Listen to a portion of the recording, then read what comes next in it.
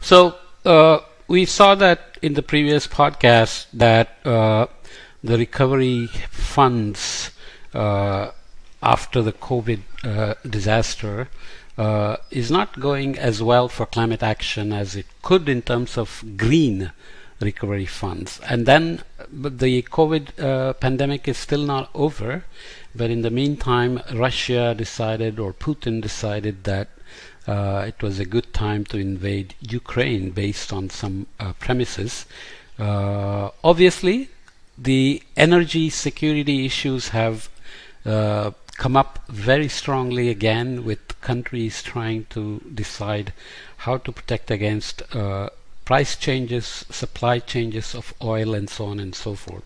Uh, fortunately, there are also maybe ways to use this as a way to uh, kickstart uh, climate action and uh, head towards uh, net zero goals as opposed to the uh, not so smart actions in the recovery funding of post COVID how does it work? Uh, the International Energy Agency has an emergency response team which provides scenarios and it provides ways in which oil consumptions can be consumption in advanced economies can be reduced in the last four months in response to uh, the Ukraine war. So here we are looking at uh, US dollars uh, spent uh, average monthly expenditures by households for oil products in uh, advanced economies. So going from January 21 to March 22, you have the heating which obviously goes up during the cooler winter months you can see here during the summer it disappears but then mobility has uh, an impact the climate has an impact on mobility as well so you can see that there is maybe an overall trend but without worrying about that um, Oil demand reductions in advanced economies within four months uh, can be done according to this 10 point plan provided by IEA. So this is uh, the 10 point plan looking at millions of barrels per day. Uh, the current levels are here uh, just over 44 and it's uh, offering a plan, a 10 point plan uh, and to bring the oil demand down in four months by uh, a couple of million uh, barrels per day. Okay, so it includes, uh, we'll look at the details in a minute, uh, reduce speed limits on highways because that uh, increases fuel consumption because of the you go beyond the optimal emission uh, efficiency of the vehicles mostly uh, ICEs or internal combustion engines. Work from home up to three days uh, which uh, the pandemic enforced already and we have seen the impact on emissions reductions during uh, the pandemic car-free Sundays in cities, public transportation, walking and cycling, uh, alternate car access to roads in cities, increase uh, increase car sharing and reduce fuel use, promote efficient driving for trucks, use existing uh, HSR and night trains, uh, reduce business flights and electric vehicles and more efficient uh, vehicles, right? So obviously uh, the emergency response uh, team has looked at uh, reducing demand and increasing supply. So here fuel switching, temporarily replacing oil use with other energy sources and demand restraint can also affect uh, demand and reduce it. So you can use heavy-handed approaches of uh, putting quick uh, constraints on how much people can drive or how much fuel they can buy or you can have a medium level restraint and light-handed restraint for increasing supply, you can also have production surge, but as you just saw, probably Houthis have attacked Arabia, uh, Saudi Arabian uh, oil facilities, so Saudi Arabia is uh, already indicating uh, supply may reduce.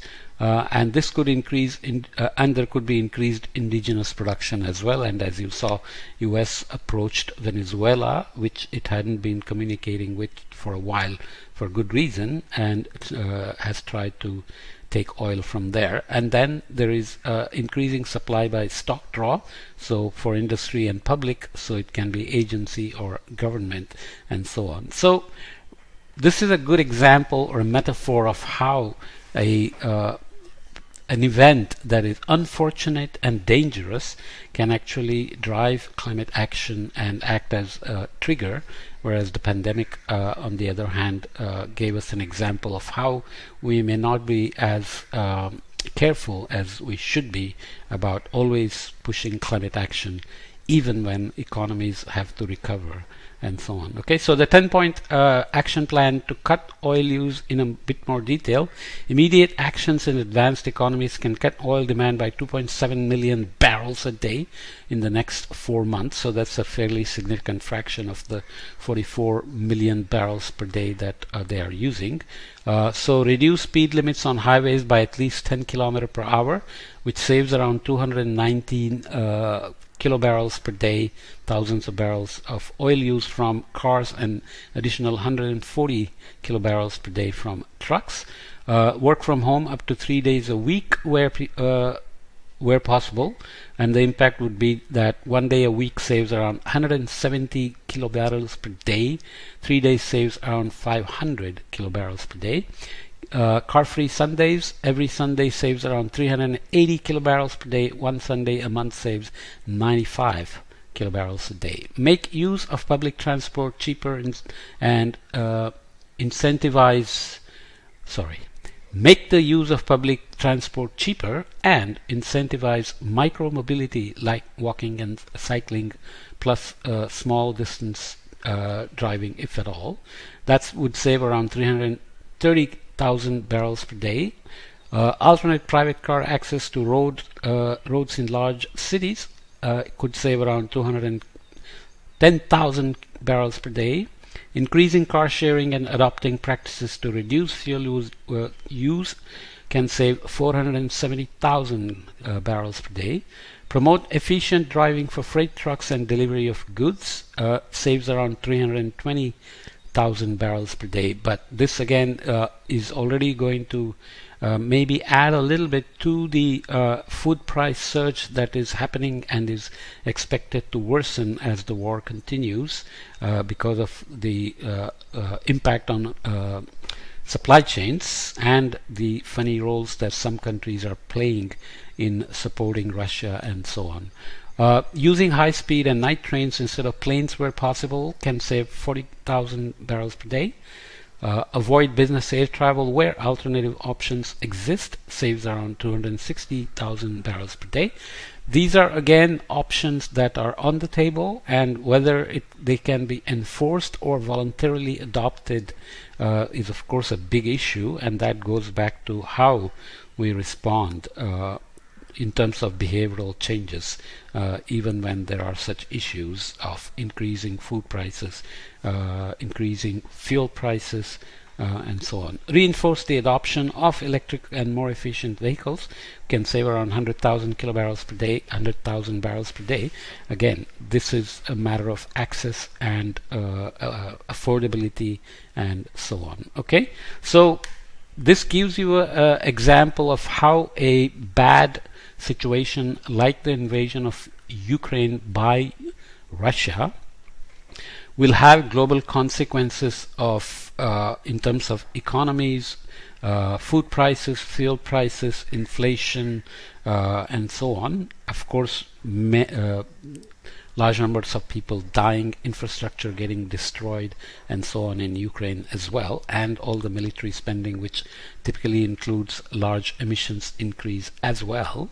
But can this event then drive a motivation or create a motivation to reduce fuel use in advanced economies, which can uh, be done mostly with no regret decisions like uh, no car Sundays, driving less, working from home, uh, and driving more efficient vehicles or EVs and so on and so forth. Pandemic offers one example and the Ukraine invasion uh, of, offers one example. Uh, unforeseen events that are affecting not only um, life and uh, poverty and economies and so on, but also are uh, shedding light on how climate action must continue through all eventualities if we want to stay on target for net zero or uh, and uh, the uh, global warming targets like less than 2 degrees C by 2100 or less than 1.5 degrees C by 2100 with 67% probability. So this really tests our collective resolves and political will to keep uh, climate action on the front burner no matter what happens, no matter what else happens in addition to the climate impacts that are already going on. Okay?